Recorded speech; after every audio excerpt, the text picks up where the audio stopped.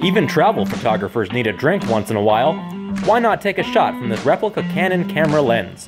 And if not for drinking, you can use this little device as a storage container for food, memory cards, coins, or whatever you'd like that's small enough to fit inside. These cool camera lenses come in a pack of three and fit on your keychain so you can take them everywhere. They make a great gift for travel photographers. Brought to you by travelislife.org.